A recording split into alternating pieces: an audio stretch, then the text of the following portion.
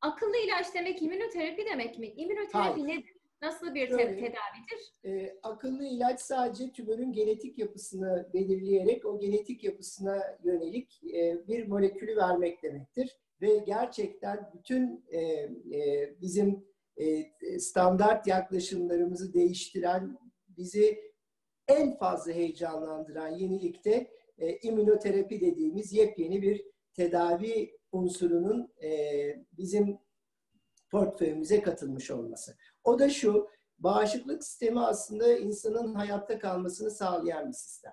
Yani bağışıklık sistemi olmayan insanlar yaşayamıyorlar, birkaç ay içinde ölüyorlar. Ama bağışıklık sistemi bugüne kadar e, kanser tedavisinde bir türlü doğru kullanamadığımız bir sistemdi. Aslında biz 1970'lerden beri, hatta 1920'lerden onlardan beri işte Kuwey toksini vesaire hep insanlar, hekimler bağışıklık sistemini bir şekilde uyaralım da kansere karşı etkin olarak kullanmaya çalışalım diye uğraşmışlar.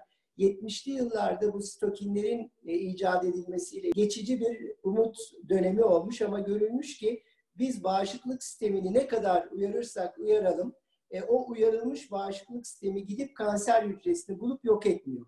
Ta ki son yıllarda bizim immünoterapideki son kuşak dediğimiz yeni ajanların ortaya çıkmasıyla beraber bu ajanlar aslında bağışıklık sistemini uyarmıyorlar. Yani bağışıklık sistemini uyarıcı etkileri yok. Sadece tümörün bağışıklık sisteminden saklanmasını sağlayan zırhını elinden alıyorlar. Onun üzerindeki hep şöyle tanımlarım ben. Tümör hücresi elinde bir beyaz bayrak. Çünkü bağışıklık hücrelerimiz askerlerimiz bizim, ordumuz.